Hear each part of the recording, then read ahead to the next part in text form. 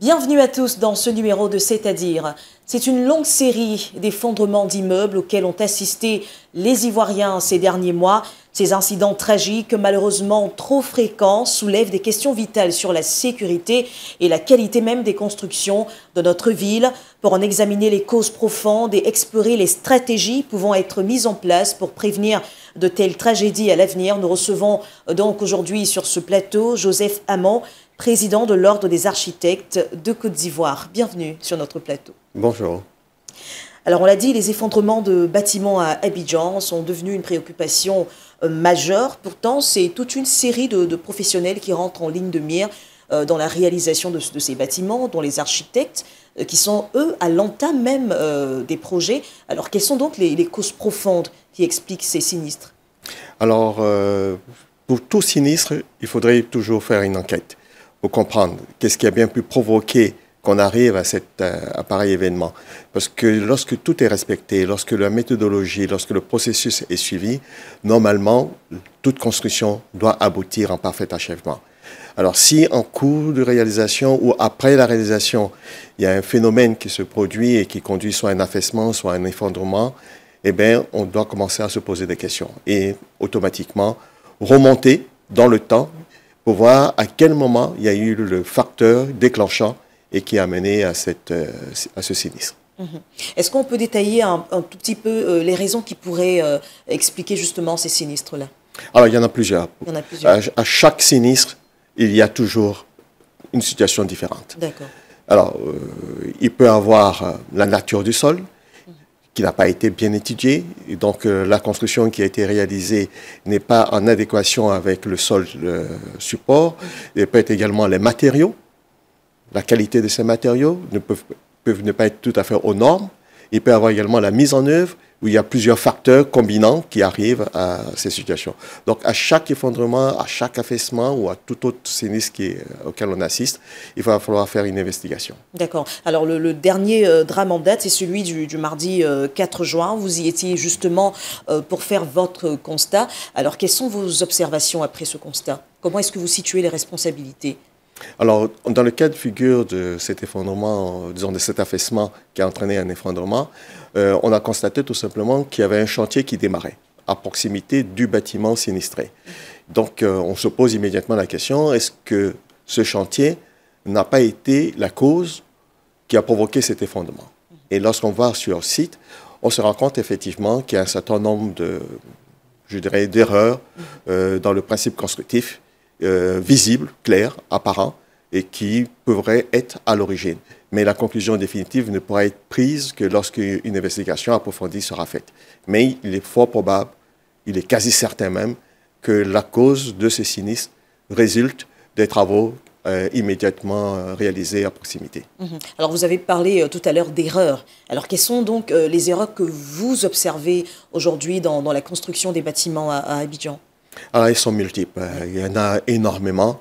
Euh, dans le cas de figure du dernier sinistre euh, enregistré, il y a d'abord le processus de mise en œuvre ou bien d'ouverture de chantier. On ne commence pas un chantier tel qu'on l'a vu sur place.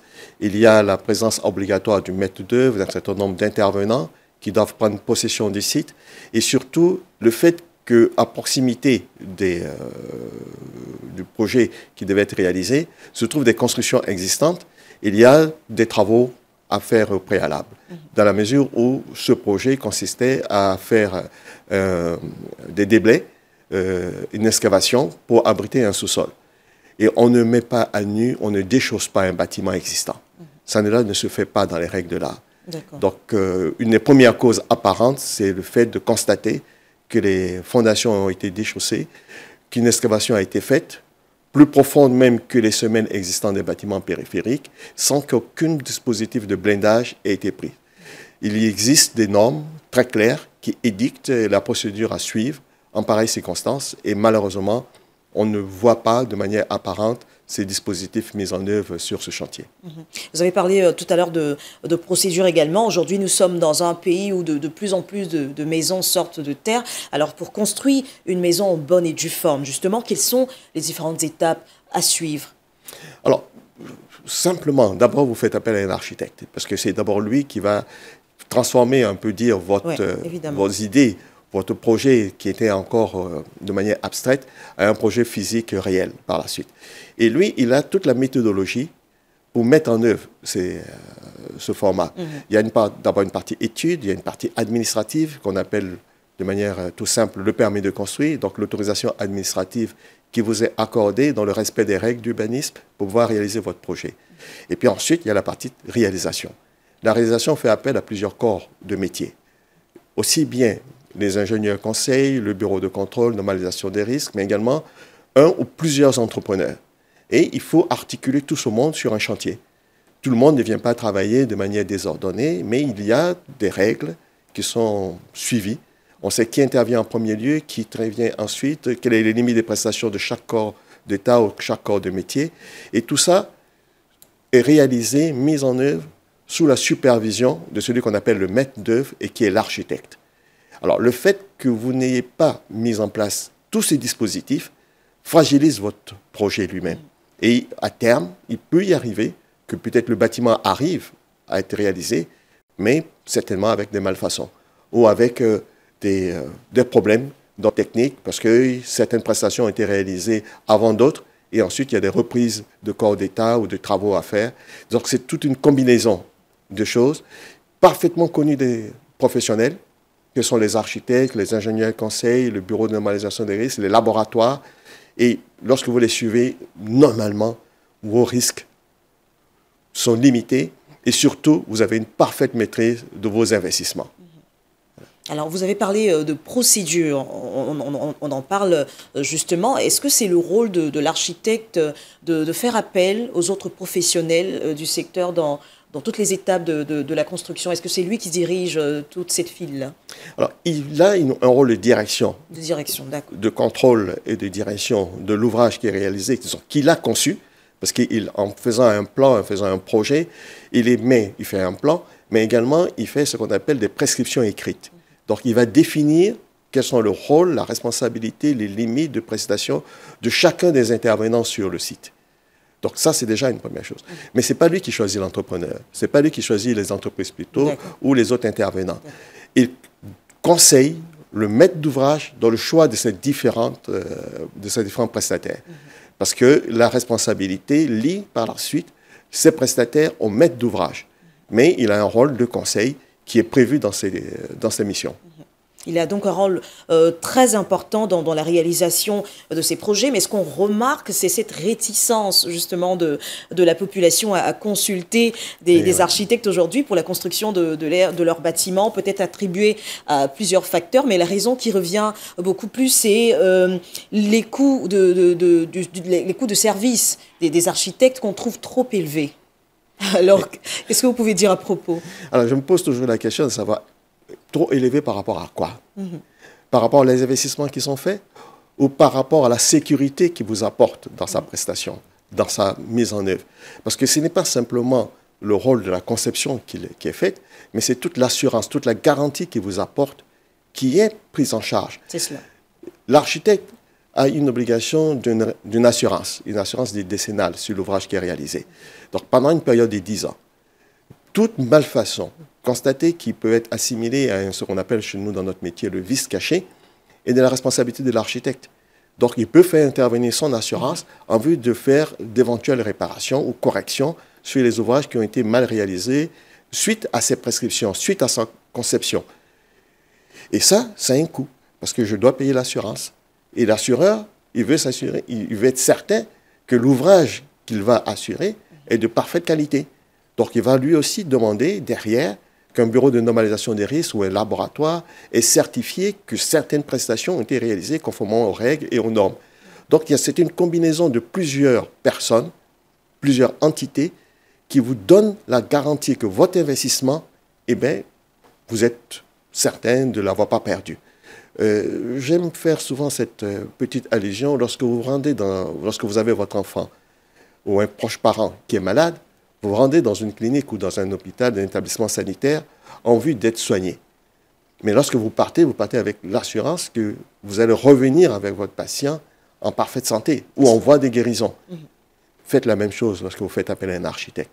Vous faites un investissement, vous venez vers lui et vous devez partir avec les clés de votre ouvrage, mais parfaitement bien réalisé. Et l'architecte peut vous apporter toute cette garantie.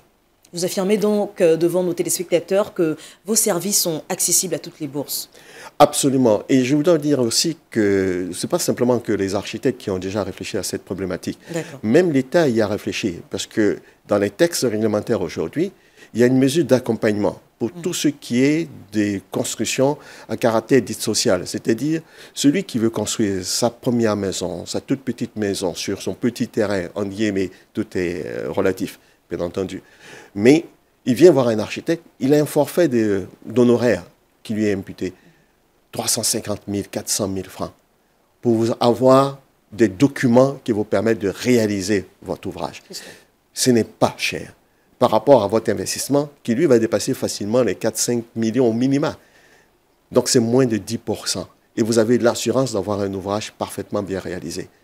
Bien entendu, ça n'a rien à voir lorsque vous avez des ouvrages de super euh, structure une tour ou un aéroport ou un, supermarché, un centre commercial, les formes de rémunération diffèrent totalement, mais les responsabilités sont également différentes. Parce que là, vous avez des établissements recevant du public, et imaginez que vous allez dans un centre commercial et que vous ayez le plafond qui vous tombe sur la tête. Il y a des responsabilités qui sont là. Mhm.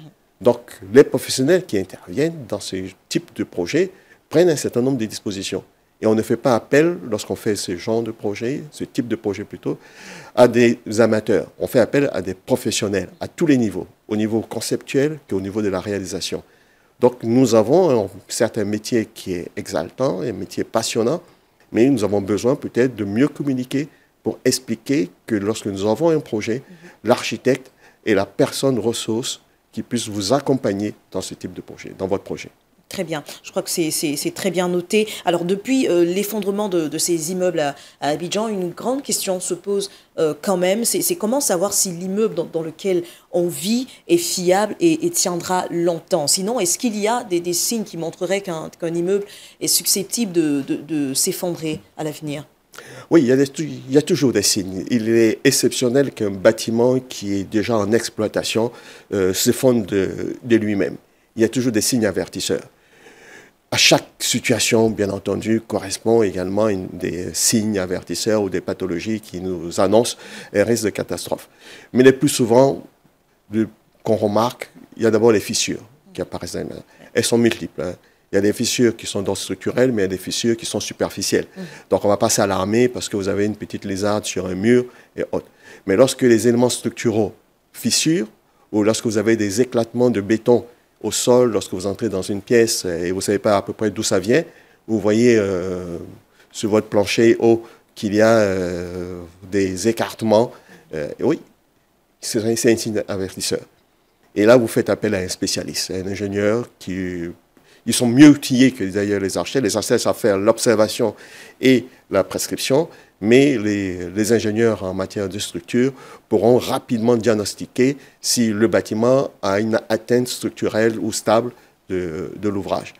Il y a d'autres signes. Hein. Lorsque vous avez par exemple des portes qui avant ouvraient parfaitement, qui se fermaient et autres, et puis à un moment commence à grincer, il faut tirer la porte parce ah, qu'elle frotte sur le sol et ainsi de suite, c'est qu'il y a certainement un petit mouvement du bâtiment qui s'est opéré.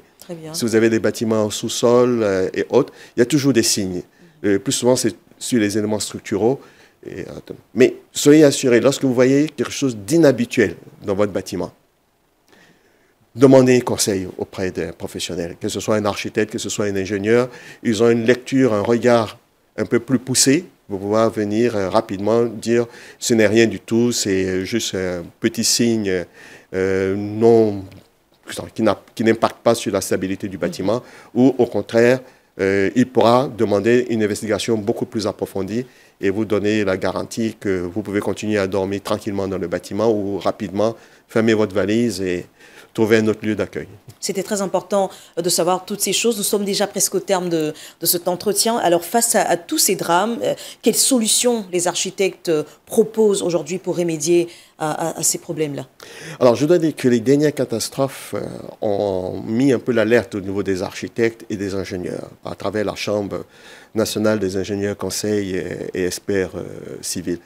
Et nous avons commencer à apporter un certain nombre de réflexions. Parce que nous nous demandons, est-ce que ce que nous faisons jusqu'à présent, dans le, mode d'exercice de notre profession au niveau de la Côte d'Ivoire, ne demande pas à apporter quelques petits correctifs Des correctifs d'ordre technique, des correctifs d'ordre administratif, peut-être même au niveau réglementaire.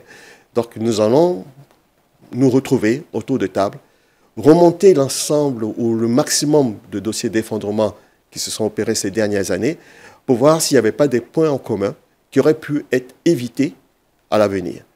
Et nous pensons pouvoir, euh, dans les jours à venir, dans les semaines ou les mois à venir, pouvoir faire de véritables communications et puis ensuite aller vers aussi bien la population, mais également vers les autorités administratives ou euh, législatives, pour leur dire, attention, les tests qui sont là sont bien, mais à la mise en application, il y a peut-être des insuffisances où il faut les renforcer, et nous allons pouvoir trouver des nouvelles solutions à tous ces phénomènes euh, que nous voudrons voir disparaître totalement. On ne peut pas vivre dans un pays et assister à des effondrements et rester indifférent. Nous avons été formés pour permettre à la population qui nous fait confiance d'avoir des ouvrages parfaitement bien réalisés et nous n'avons pas le devoir de rester indifférents face à cette situation. Je rappelle donc que vous êtes le président de l'Ordre des architectes de Côte d'Ivoire et avec vous, nous parlions des effondrements euh, d'immeubles en Côte d'Ivoire, ces catastrophes successives qui questionnent aussi bien les professionnels euh, du secteur que le ministère en charge de, la construction. Nous espérons donc que les solutions idoines euh, seront trouvées et appliquées pour éviter d'autres sinistres à l'avenir. Merci à vous, très chers téléspectateurs, de nous avoir suivis. L'actualité continue sur cette info et sur www.cetinfo.ci.